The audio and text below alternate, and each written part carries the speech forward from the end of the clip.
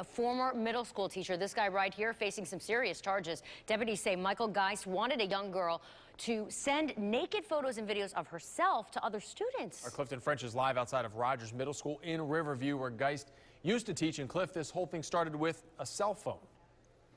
Yeah, Geist gave one of his students a smartphone with apps installed, and he instructed her on how to send naked pictures and videos of herself to other students. Now, while Geist didn't have any pictures sent to himself, we are learning that he would take that phone to see those naked images of that child.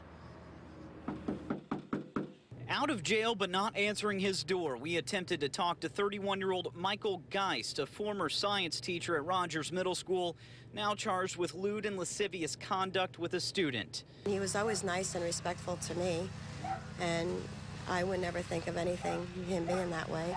His neighbors shocked by the arrest, saying Geist was always friendly, even offering to watch his neighbor's young child. I love it here, and I think this is a good place to live. and you know, when you hear something like that, you just don't know who your next door neighbor is anymore. While his adult neighbors didn't see anything wrong, according to the school district, it was suspicious students who came forward, telling their principal about their teacher. And just said something didn't seem right um, about this particular teacher and a student. The district contacted the sheriff's office immediately, and the principal called Geist in for a meeting.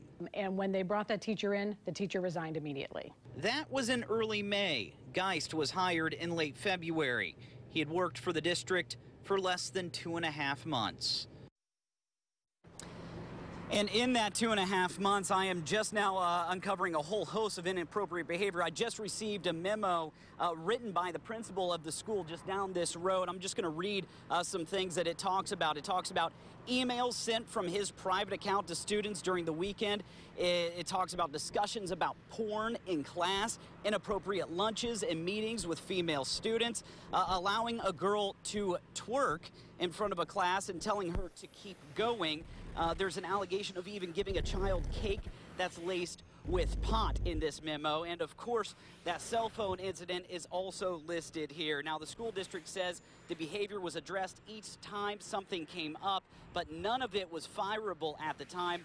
Uh, and once it got to that point, Geist just quit his job anyway. There's much more. We just got his uh, we just got his um, discipline record, also his application to the school. We're going to bring all that information to you tonight at 11. I'm reporting live in Hillsborough.